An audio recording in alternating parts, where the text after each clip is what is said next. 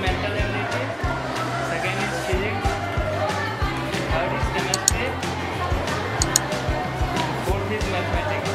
And in the last place you have to all the answers. Hello. So it's Mubashira Banu here from Ilma International School as an admin here.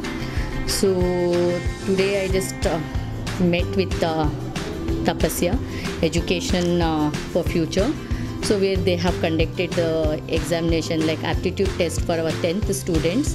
It was a good opportunity to our students, I can tell. So where for their future they can think and they will get a good experience like how they can write the exams in future. Good morning, my name is Mohammad Rehan. After writing this exam, I feel good. It was uh, easy, not so easy, but I feel good. After writing, I wrote many correct answers. Myself, Muhammad Usman. By this Tapasya exam, I came to know about what is the knowledge about the mental ability, science, etc. So it was very interesting about it to write the exam. Thanks. Good morning. My name is Umay Hani. Um, it was this exam was very interesting and excellent. It was helpful for us for our board exams. Uh, good afternoon for everyone. Oh, This exam was very helpful to us. We were uh, mental ability, chemistry, physics.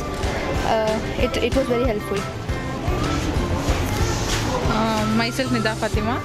Uh, this exam was very good. It was very helpful and it was interesting